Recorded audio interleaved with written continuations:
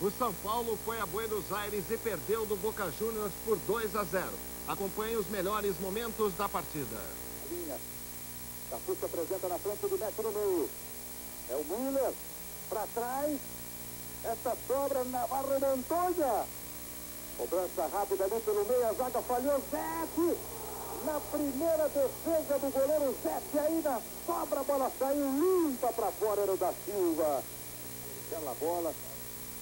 Vitor se aproximou lá pelo lado esquerdo, se apresentou, mas a bola saiu. E o árbitro vai lá, hein? Tem expulsão aí, tem cartão vermelho, hein? Vamos conferir. Tá expulso, tá expulso, Vitor. Olha o Carranza. Tirou bem da jogada na primeira, meteu pra dentro, a bola foi desviada.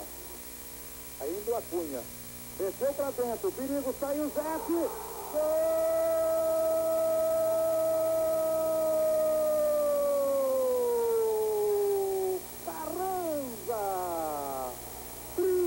Minutos do primeiro tempo aqui em La Bombonera. Olha o perigo. O árbitro marca pênalti contra o São Paulo. Salvador Imperator vai autorizar. É Márcio, camisa 10 e o gol!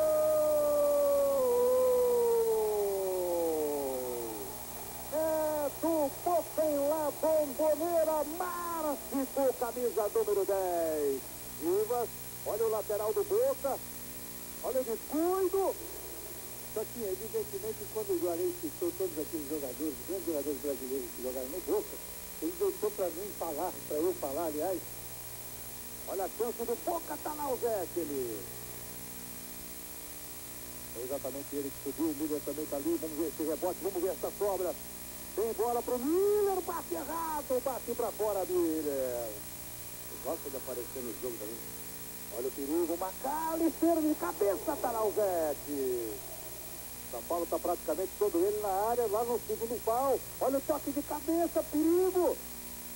Insiste o São Paulo ainda. Não pode dar espaço pro cruzamento, isso que não pode acontecer. Carrizo, arrisca, bate, bate pra fora. Martínez Martínez bate, Zete.